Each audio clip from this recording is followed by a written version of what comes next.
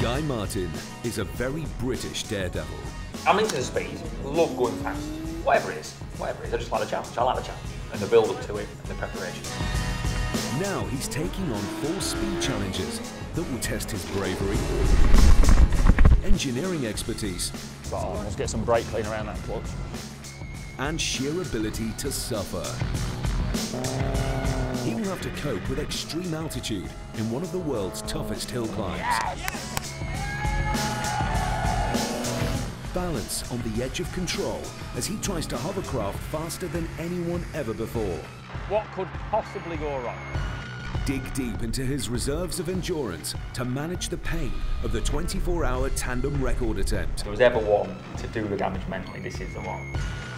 and throw caution to the wind as he tries to pilot the world's fastest gravity racer. Always like a, a challenge with a bit of a twist. I don't want to do the norm.